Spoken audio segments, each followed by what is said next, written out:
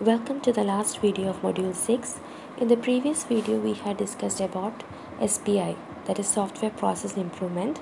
Now this is another uh, mechanism or um, a model for SPI that is CMMI and uh, it is actually a better version of the CMM model we discussed earlier okay so explain CMMI in detail so the original CMM has evolved into CMMI it is nothing but capability maturity model integration. It is a meta model. That means it has two representations a stage model and a continuous model. As you can see in the stage model it is just like a pyramid having uh, MLs which is uh, maturity levels from 1 through 5 and that will be on the uh, you know the y side y axis and on the x axis it is the organization. And in the case of continuous on the y axis you have capability levels and on the x axis the process areas PA so here you are the differences between stage and continuous representations so uh, in case of stage the process improvement is using ma maturity levels. And here it is using capa uh, capability levels. Okay so what is maturity level? As given on the uh, y-axis so it is a degree of process improvement across a predefined set of process areas. So it gives the degree of improvement okay? And here uh, capability level is the achievement of process improvement within the process area. And organizational maturity which is along the uh, x-axis it pertains to the maturity of a set of processes across an organization.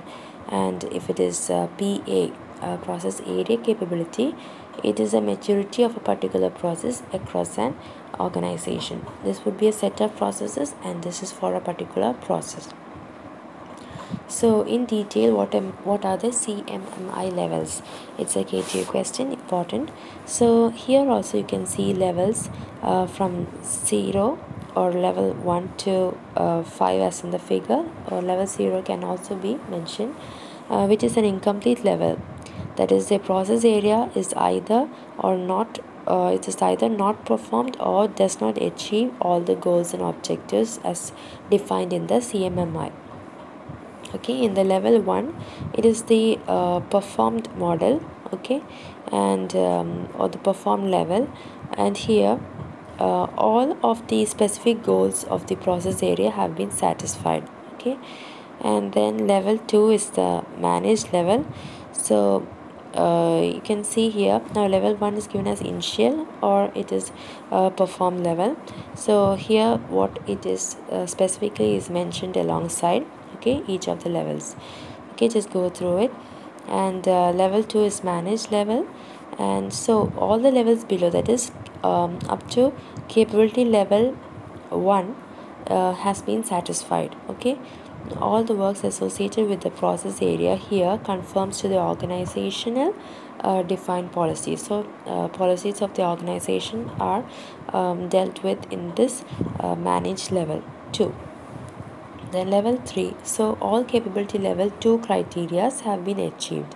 So the uh, level below it has been anyway achieved in uh, level 3 and uh, in addition what is done is the process is tailor made according uh, to the organization set of uh, standard processes okay? And next is level 4 uh, which is quantitatively managed. Here also all capability level 3 criteria have been um, achieved. And in, in addition the process area is controlled and improved using some measurement and quantitative assessment and hence the name quantitatively managed.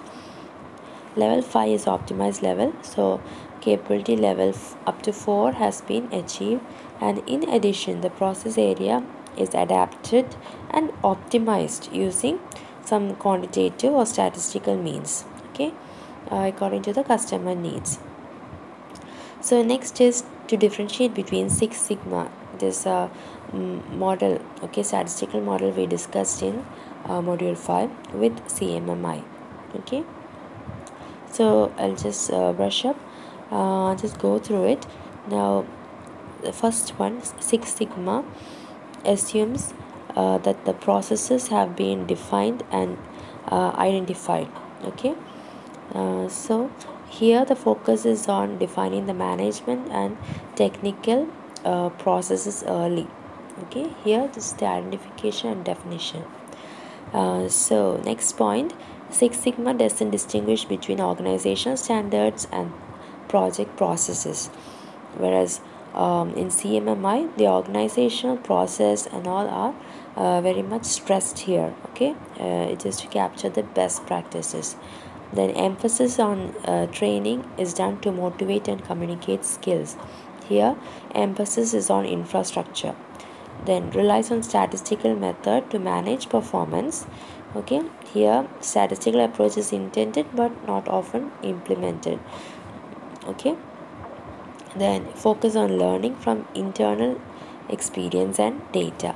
Here additional mechanisms only to leverage external technology. Okay then uh, prioritization of efforts and links to strategic planning are uh, weak and often ignored in case of CMMI and about the certifications just go through it. Next is the main difference between CMM and CMMI so uh, you know already that CMMI is the original uh, one CMM okay? And CMMI is the uh, evolved one okay? Which has integration of many things okay? So CMM is a reference model of mature practices in specific or specified disciplines like example uh, software CMM people CMM etc okay? And they are difficult to integrate there okay? Now CMMI is a successor of CMM and it is evolved as a more mature set of guidelines okay? And um, it was built by combining the best components of individual uh, disciplines which we saw in CMM okay? Um, then CMM describes software engineering alone whereas CMMI will describe both software and system engineering okay? Then CMMI also incorporates the integrated and uh, product development and supplier sourcing okay? So the next is uh, the people CMM okay? That is the next topic in our syllabus it's important. So it is the people's capability maturity model. It is a roadmap for implementing the workforce practices that would continuously improve the um, um, capability of the workforce of the organization. So it is uh, the model to be followed in case you want to improve the workforce. So here also there are uh, levels. There are five levels. Okay it is almost identical to the previous. Uh, just a little difference here predictable. Okay just go through it. And the focus uh, is given. Okay of each level and the process areas are also uh, mentioned. Okay just go through it. Next is uh, to describe uh, SPI frameworks. It's a KTU question again uh, which was already discussed earlier. Next is to discuss about SPI return on investment or ROI so mainly ROI is um, the sum of the benefits minus sum of the cost divided by sum of the cost into 10%. So where benefits here would include the cost savings associated with higher product quality, then less uh, rework, reduced efforts, etc. Now costs would include both the, the direct SPI costs and indirect costs also. Okay. Next is uh, SPI trends. So it just says that the future now SPI framework existing ones we just mentioned so the future one should be more uh, agile means flexible according to the customer requirements. Okay? And um, mainly um, it should be that uh, to achieve meaningful uh, results okay?